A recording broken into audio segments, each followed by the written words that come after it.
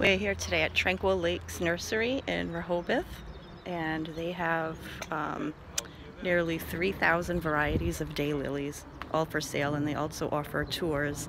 Um, I'll put that info in the story, but if you just take a look around, it's pretty amazing at how many flowers um, there are here. July is the peak month uh, for daylilies, and he has varieties from pretty much everywhere, including uh, some local ones from um, a man in Taunton and some others in Massachusetts. And he is being photographed by right now by Jack Foley, as you can see, who is also trying to get the, the flowers in there with him. And that is Warren. He is the owner along with his wife, Debbie.